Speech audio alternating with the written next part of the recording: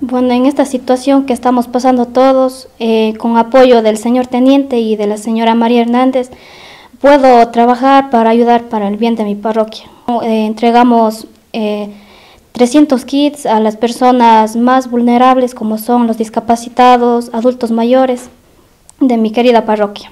Siempre pensando en esa gran palabra de la solidaridad y justamente hemos coordinado desde varias alcaldías, en este caso eh, Valdor Bermeo del Cantón Ponce Enríquez, que nos donó unos kits alimenticios, de igual forma el alcalde de San Fernando, Claudio Loja, el alcalde de Girón, el señor José Miguel Ushka, eh, algunas personas eh, en particulares. Bueno, desde que empezó la, esta epidemia, nos pusimos de acuerdo aquí con la reina, con el señor teniente político, para, para de alguna manera ayudar a la gente, a la gente que vivía más lejos, a la gente más lejana, igual también a los adultos mayores, para formar KIPS y así siquiera irles a dejar alguna cosita a las, familias de extrema pobreza, a las personas con discapacidad,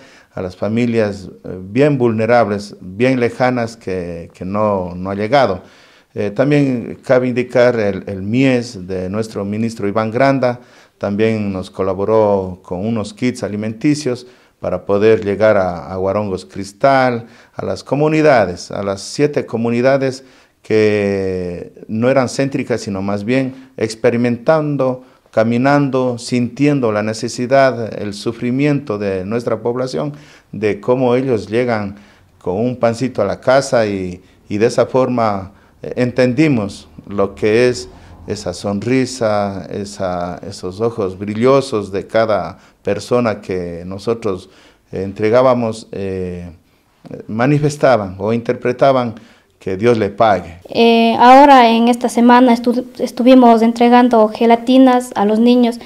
Eh, yo sé que ya pasó el Día del Niño, pero nunca es tarde para celebrar. Y así mismo seguiremos trabajando con el grupo que tengo y seguir hasta cumplir mi misión. Y esperamos seguir con esto la próxima semana que viene. También vamos a entregar a las, igual a las comunidades que nos faltan todavía.